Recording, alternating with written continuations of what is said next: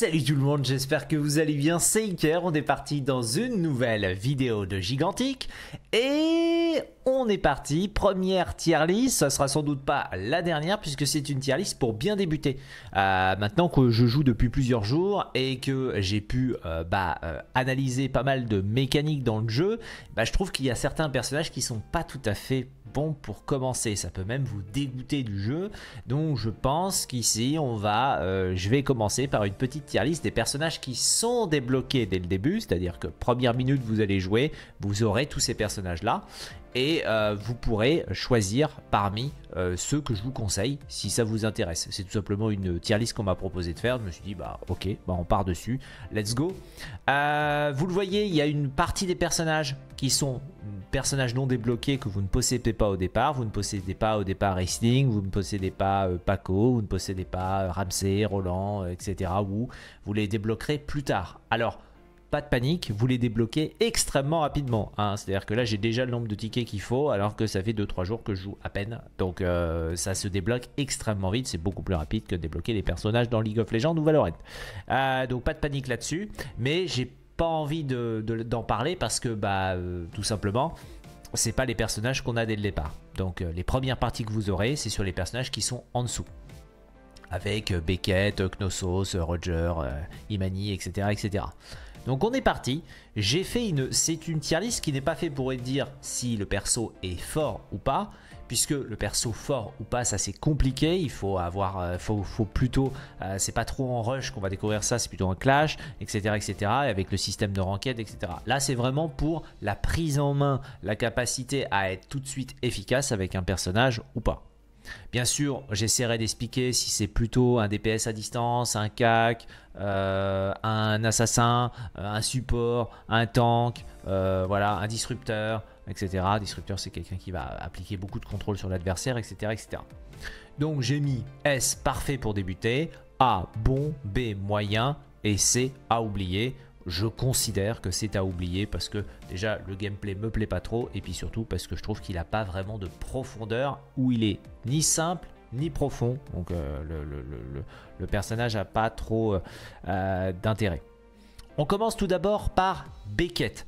Beckett c'est un DPS à distance incroyable et elle a un escape relativement bon qui va vous rappeler euh, celui de Betty la Bomba pour ceux qui euh, ont joué à Paladin par exemple. C'est un personnage qui est excellent pour commencer. Déjà de toute façon, si je devais donner un conseil aux gens quand ils débutent, c'est de pas commencer par un corps à corps. Le corps à corps, à moins que vous jouez un sac à PV intuable, en général, euh, c'est plus facile de jouer à distance. Déjà, surtout dans le mode rush, où vous allez pouvoir rester à distance, taper et puis utiliser votre escape pour aller chercher heal, tout simplement. Et en fait, à chaque fois que vous revenez, vous récupérez votre escape, et à chaque fois qu'on vous agresse, vous retournez chercher heal. C'est tout con, c'est très bête, mais c'est bien pour débuter de jouer comme ça.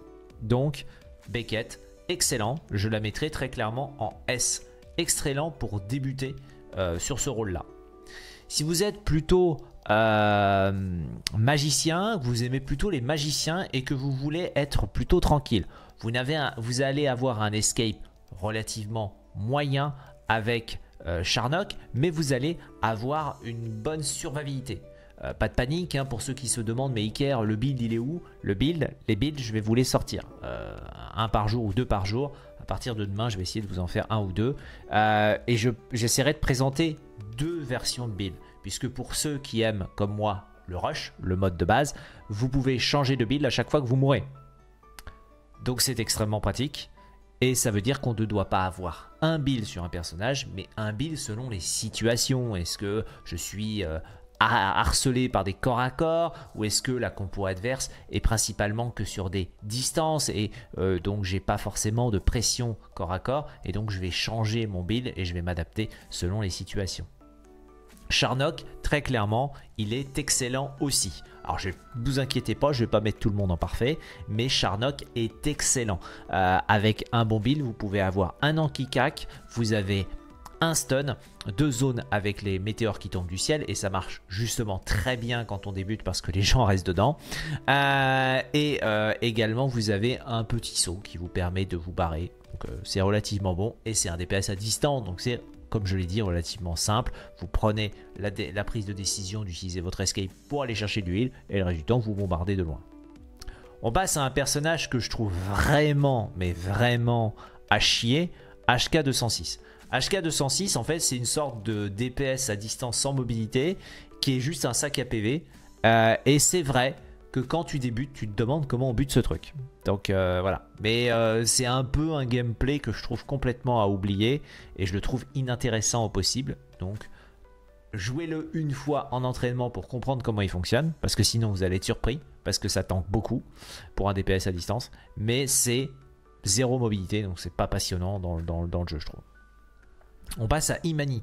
Alors Imani, c'est un sniper. C'est un sniper que j'hésite à mettre en bon ou moyen. C'est pas, c'est pas si dur que ça. Il faut juste, voilà, si vous aimez pas viser, sachez qu'il n'y a pas besoin de viser dans la tête, etc., etc. Donc il faut juste viser le joueur, mais ça reste quand même relativement difficile pour ceux qui ont du mal. Donc par exemple sur manette, je suis pas sûr que Imani soit un personnage facile à jouer. De toute façon, je suis pas sûr que jouer sur manette, ça soit très simple sur ce jeu. Mais voilà, euh, bon ou moyen. Euh, j'aurais tendance à la mettre en moyen parce qu'elle est quand même relativement technique. C'est un DPS qui a un escape. Avec un certain build, vous pouvez faire que quand vous sautez en utilisant votre bombe fumigène au sol, vous vous bumpez. C'est vraiment un, must-have sur Imani. On en parlera bien évidemment dans le guide dédié à ce personnage. On passe à Knossos. Euh, Knossos, c'est le personnage du tuto au départ. Il est excellent, il fait vraiment d'énormes dégâts. Avec certains builds, on peut quand même avoir pas mal de contrôle. Je dirais qu'il est bon. Je dirais qu'il est bon, ça reste un corps à corps, donc c'est pas facile à jouer au départ. Par contre, il est pas très dur. C'est techniquement, c'est pas, euh, c'est pas le dieu, c'est le héros le plus difficile à jouer. Donc j'aurais tendance à dire qu'il est correct. Il fait vraiment le café et puis il fait mal surtout. C'est pas un tank, hein. c'est plus un combattant on va dire si on devait donner une définition, c'est pas un tank, c'est un combattant, c'est-à-dire qu'il est un peu plus tanky que les assassins, mais il fait, et eh bien il tank moins que les tanks. On passe à notre chère petite Mozu. Mozu qui est un personnage assez, assez technique, euh, qui est cool. Là aussi, euh, elle a un petit escape sympa.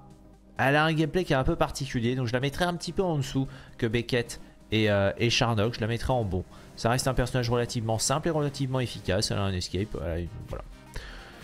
On passe au un de mes personnages préférés parce que j'adore les assassins euh, dans les MMORPG et euh, Trip c'est très clairement l'assassin, l'archétype si vous aimez les personnages fufu euh, qui font mal mais qui sont assez délicats à jouer, Trip est excellent.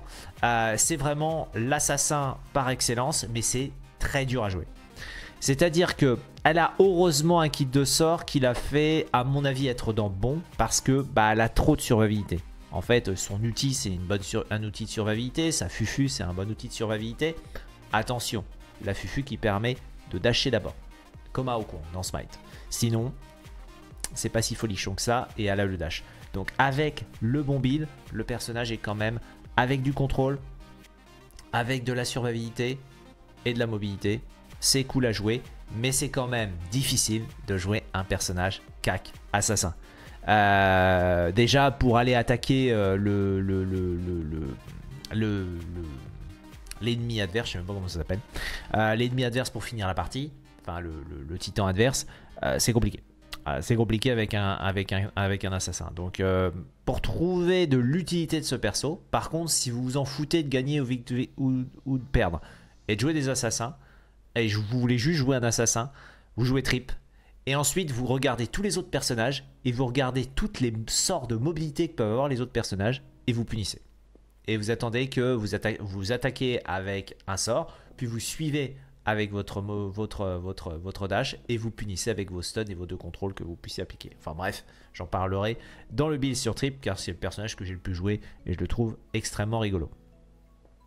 Le Mangrave. Euh, c'est ça que ça s'appelle, oui, le margrave, pardon.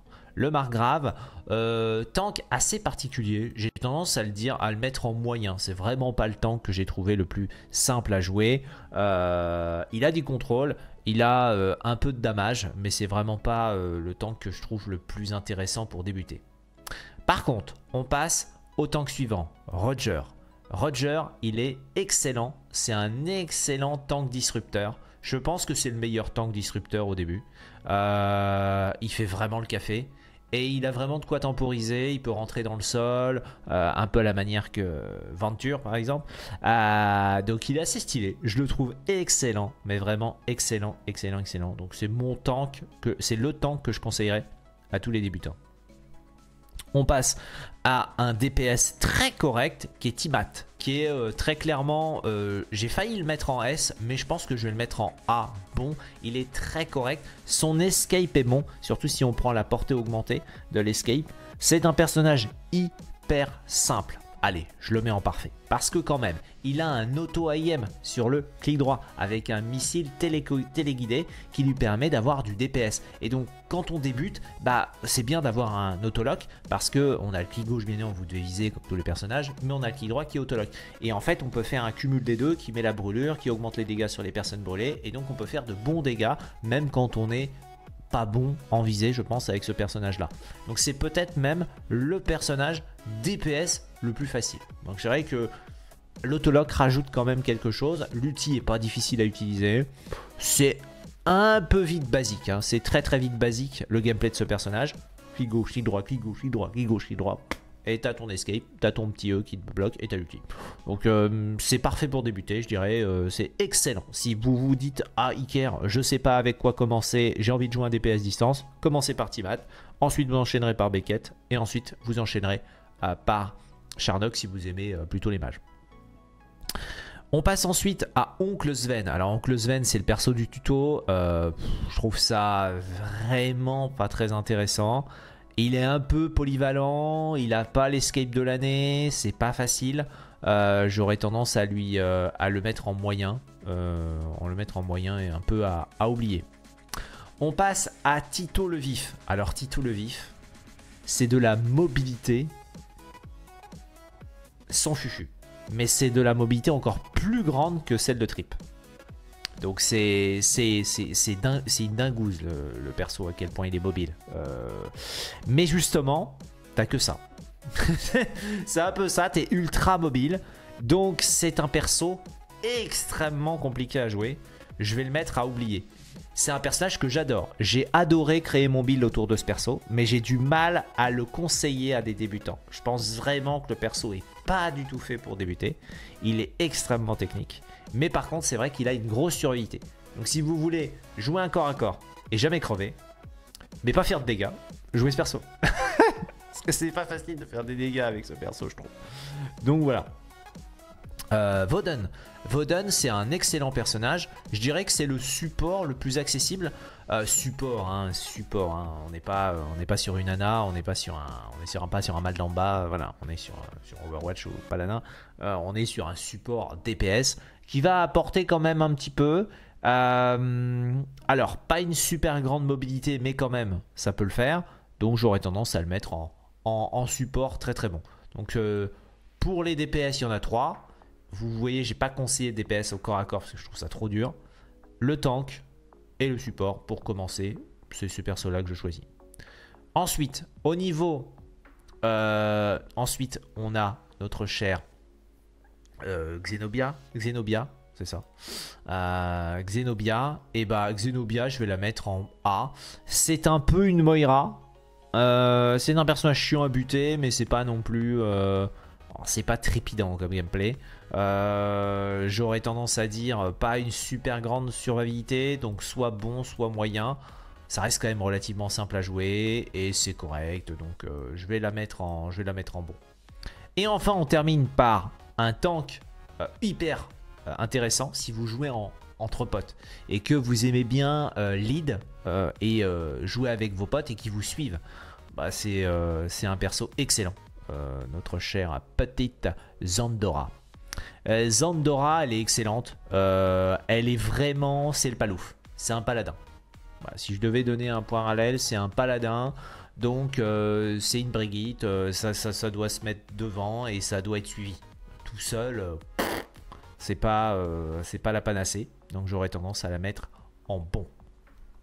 Voilà pour ma petite tier list. Je vais pas classer Esling, Ezran, Ezren pardon, et Griselma etc. Euh, je le ferai dans d'autres tier lists. Ça, c'est des persos que vous n'avez pas quand vous débutez, mais que vous allez débloquer. Euh, et d'ailleurs, petit conseil, je vous conseille de récupérer assez rapidement Paco, qui est un excellent tank. qui est très fun à jouer, et Esling, qui est assez fun à jouer et assez forte aussi, avec son armure qui combat pour elle. Voili, voilou, j'aurais tendance à, mettre ça comme tier list. Euh, comme je l'ai dit, ce n'est pas une question de puissance, ce n'est pas une question de est-ce que euh, c'est ça qu'il faut jouer pour gagner, c'est juste c'est ça qu'il faut jouer pour commencer. Hein. Euh, ces personnages-là sont très très bons pour débuter, je trouve, au jeu. Les autres le sont un petit peu moins, même si j'ai un coup de cœur pour Trip. En général, je fais un moins bon score avec Trip qu'avec un DPS à distance. Un DPS à distance, ça reste beaucoup, mais alors beaucoup plus facile à jouer qu'un assassin CAC, euh, du fait que bah, euh, il faut maîtriser le CAC et il faut euh, un peu se comprendre ce qui se passe. Et vu qu'au début ça pète partout et qu'on comprend pas trop ce qui se passe, vaut mieux jouer un personnage qu'un gameplay assez simple, basique. Voilà. Merci d'avoir regardé cette vidéo, j'espère qu'elle vous aura plu. Dites-moi en commentaire quel type de vidéo vous voulez. Est-ce que demain je m'attaque au guide Trip pour vous parler euh, des différents, euh, des 2-3 builds que j'ai sur, le, sur ce perso assassin que j'aime beaucoup. Et puis je vous explique le kit de sort, le fonctionnement, les petites particularités et, euh, et euh, d'un personnage. Je pense que ça pourrait durer une dizaine, quinzaine de minutes, je pense. Donc voilà, moi j'aime beaucoup ce jeu, je le trouve excellent. je le conseille à tous ceux qui veulent jouer à un jeu. Pour combien de temps il y aura les serveurs open avec des joueurs dessus, etc bonne question. C'est quand même un jeu qui est payant de base alors que en général sur le marché les jeux sont free to play. Moi en tout cas j'en profite, j'y joue tous les jours euh, et je conseille aux gens euh, bah, qui aiment les jeux et qui aiment bien euh, réfléchir sur des différents builds. C'est ce qui est bien, c'est qu'il n'y a pas de méta, il n'y a pas de machin, il n'y a pas voilà, c'est pas c'est pas un jeu c'est pas un jeu qui a des années, c'est pas un jeu qui est hyper tryhard non plus. C'est juste un jeu qui est ultra nerveux et qui est pas du tout, mais alors pas du tout simple quand on débute. Voilà. Merci d'avoir regardé cette vidéo. Je vous fais des gros bisous. Et je vous dis à demain pour une nouvelle vidéo de Gigantique sur la chaîne. Ciao